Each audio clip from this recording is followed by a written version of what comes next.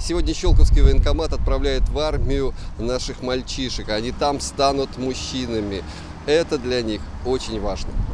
Фактически в жизни любого юноши это событие из разряда первостепенных по значимости с точки зрения всего дальнейшего пути молодого человека, у которого появляется первая по-настоящему, можно сказать, государственная обязанность и ответственность – идти на срочную службу в армию, выполнять свой конституционный долг. Поздравить ребят с этим серьезным шагом, разделить с ними волнующие минуты и просто, как полагается, проводить в солдаты пришли их родственники, представители власти и духовенства, командный состав военкомата. И от всех провожающих в этот день звучали слова напутствия о самом важном.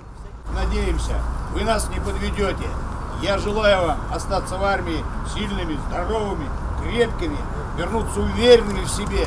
Мы за вас уже гордимся, то, что вы стоите в этом строю. И будем гордиться еще больше, когда вы вернетесь. Спасибо вам, добрый путь. И вот наступает та самая минута, когда звучит вечная музыка русского воинства. Прощание славянки.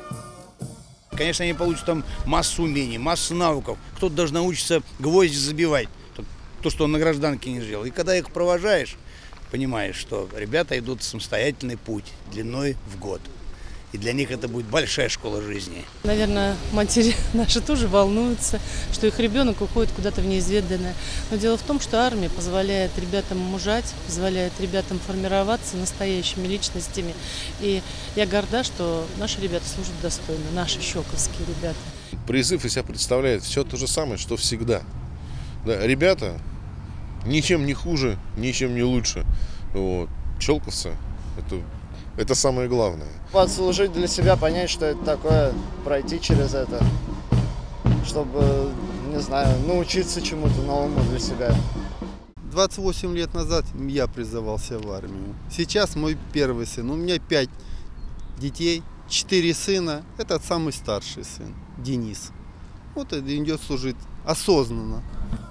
В команде призывников, которые первыми отправились служить в армию, 24 человека. Всего же этой весной от Щелковского района пойдут на воинскую срочную службу 170 наших земляков. Андрей Цеханович, Сергей Максимов, телерадиокомпания «Щелково».